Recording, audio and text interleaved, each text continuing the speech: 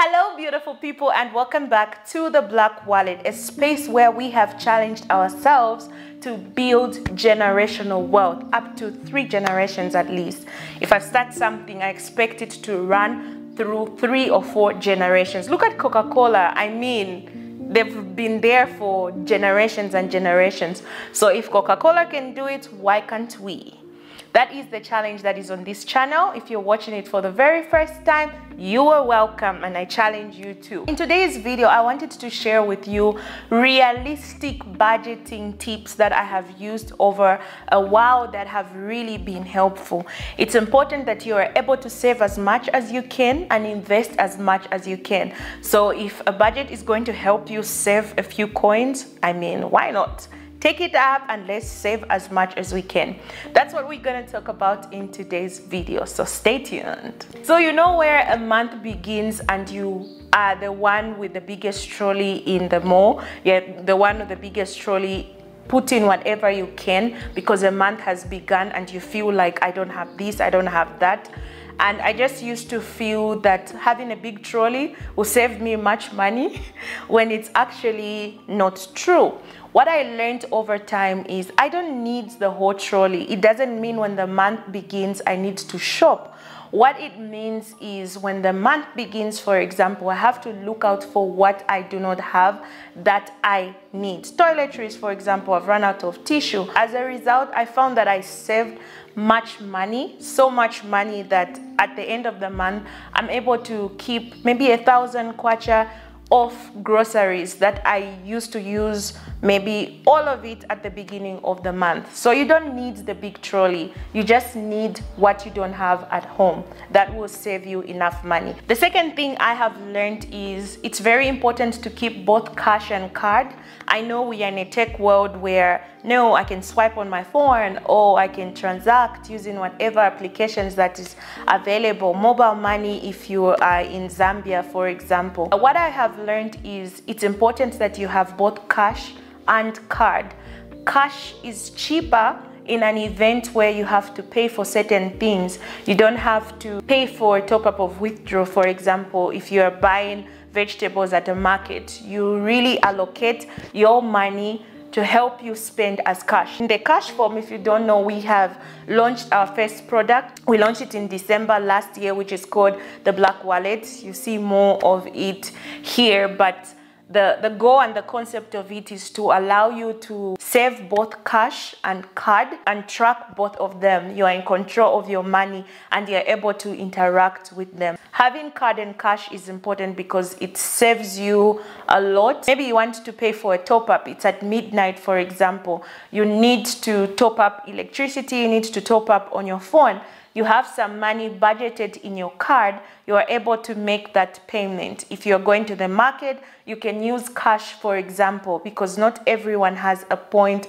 of sale. So it's very important you both you keep both card and cash. The next thing that I have adopted, which has saved me a lot of money, is I make sure that chills are a reward at the end of the month. I've really focused more on on going out as a reward after I'm able to have accounted for what I've spent, what I've earned, and going out becomes like a reward, like a space where I need to feel free after the productivity, after the goals I've achieved in a week, in a month, I'm able to reward myself with an outing. I've discovered over time that because I'm delaying my outing, I seem to save a lot of money with that going out at the end of the month as opposed to the first i find that i still even have some change. The money i budgeted for fun really becomes more because i only went out once and i know i'm going out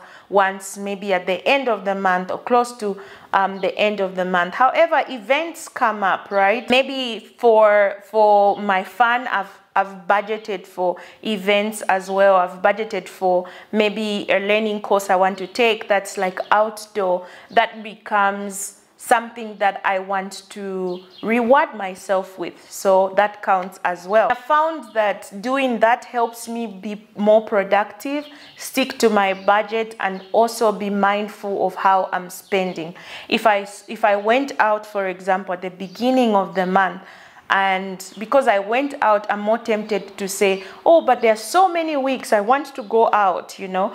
But if it's at the end of the month, I find that it's a it's a relief. I'm using that to clap for myself. I'm delaying my gratification. As a result, I'm constantly sticking to my budget. The other thing about budgeting that has really helped me realistically speaking is being aware of your little foxes. These are little things that at the end of the day cost you so much but you don't pay attention to. Number one is the mobile money transactions. For me to send money from Airtel to Airtel, I am charged certain ngwees. Let's take, for example, 17 ngwee because I'm transferring money from phone number A to phone number B. If I'm transferring money from Airtel to MTN, I'm also charged. The cost is quite high then because they're different networks. If I'm transferring money to FNB to ABSA, I am charged as well. Maybe it could be 20 kwacha. If I withdraw money from an ATM, I'm actually charged 8 kwacha, right?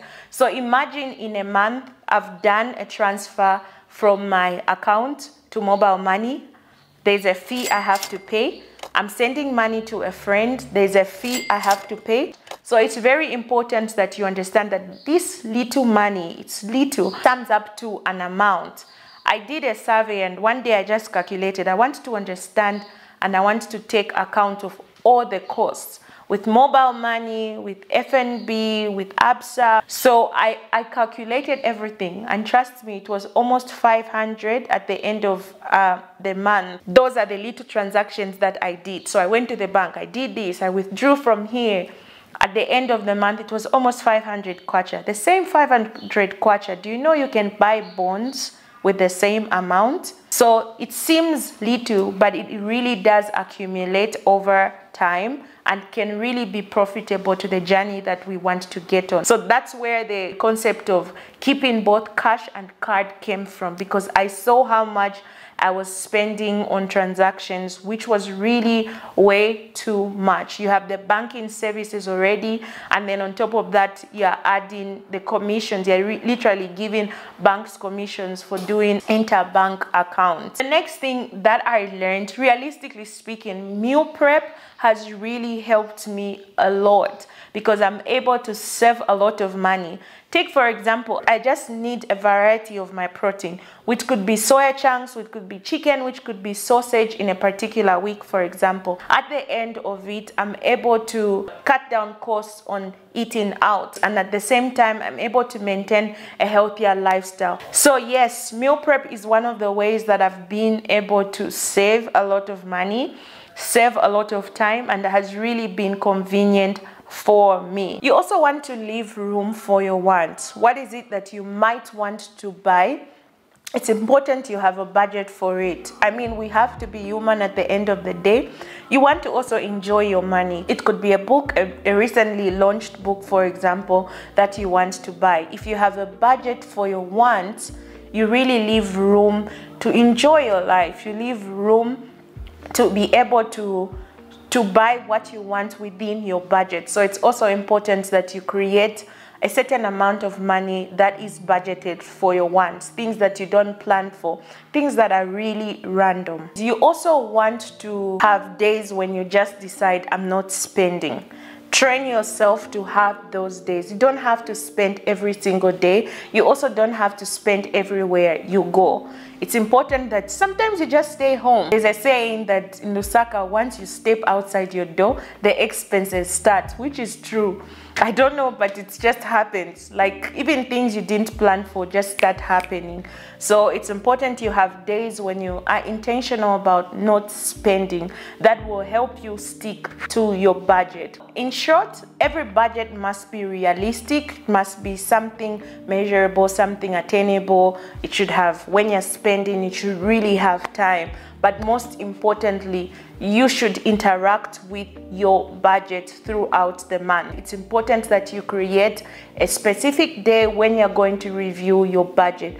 I prefer Sunday because that's the day I know, okay, I'm home, let me be in charge, let me also prepare for the week ahead. It's important that you pause and be in charge and just see where your money is going. Is it going as per planned? Is it going out of plan? You really have to be in control and over time you get better at planning for your money. That's basically today's video and I hope this was helpful. Until the next video, bye.